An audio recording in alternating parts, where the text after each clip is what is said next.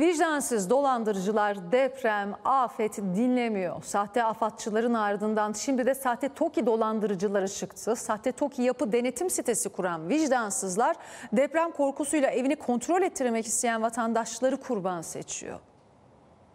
Barut testi yaptırmak istiyordu. Ücret ne kadar?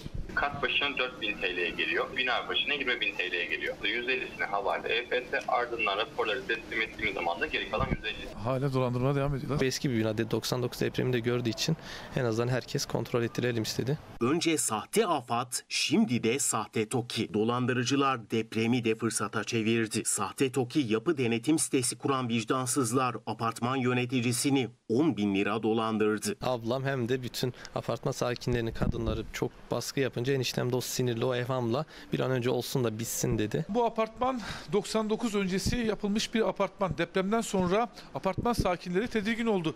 Depreme dayanıklı mı değil mi diye test yapmak istedi ve bu nedenle bir internet sitesine girdi. TOKİ Analiz isimli bir site çıktı. TOKİ ismi olduğu için vatandaşlar güvenilir bir yer olduğunu ve yapı denetimde sorun çıkmayacağını düşünerek onlarla irtibata geçtiler. Ancak o site sahte bir siteydi. Siteye girdik, yazışmaya başladı. Sonra bunlar işte biz yapıyoruz dediler. Detayları anlattılar. Kaç çeşit karot alma sistemini anlattılar. Hepsi için ayrı fiyatlandırma çalışmışlar. Sahtekarlar vurgunu ön ödeme yalanıyla yapıyordu. 10.000 TL dediler. Biz de tamam dedik. Sonra paranın %50'sini peşin alıyoruz dediler. 10 dakika sonra ikinci para istedi. Sonra ikinci 5000 lirayı daha gönderin.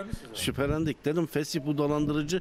Yok dedi dolandırıcı değil dedi. Olur mu Toki'nin dedi. Ancak üst üste para istenince mağdurlar dolandırıldıklarını anladı. Kadınlar panik yaptılar. Bir an önce olsun. Çabuk çabuk çabuk çabuk yaptıralım. Çok ucuza bulunmuştu. Çok cazip. Şu an o numara hala aktif ve o dolandırıcılar bu numarayı kullanıyor ve insanları hala dolandırmaya devam ediyorlar. Adem Metin az önce onlarla konuştu, tuzağa düşürmeye çalıştı ancak dolandırıcılar tuzağa düşmedi. Belediyeler yapıyordu. Toki yapmıyordu. Ben öyle biliyorum. Efendim TOKİ'de yapıyor bu işi. Cihan Bey ben ön rezervasyon kaydınızı oluşturdum. Evet. İşlem devamlılığı sağlanması için ekip arkadaşlarımızdan WhatsApp'tan iletişime geçecekler. Halen dolandırmaya devam ediyorlar. Aynı dolandırıcılık firmasını aynı yöntemi kullanıyorlar. Peki bu tuzağa düşmemek için ne yapmalı? Zaten ücretsiz yapıyor belediyeler bu işleri. Şunu anladım.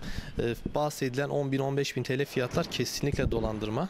Yani özel mühendislik firmalarını aradığımızda 50 bin TL bandında bir fiyat biçiyorlar.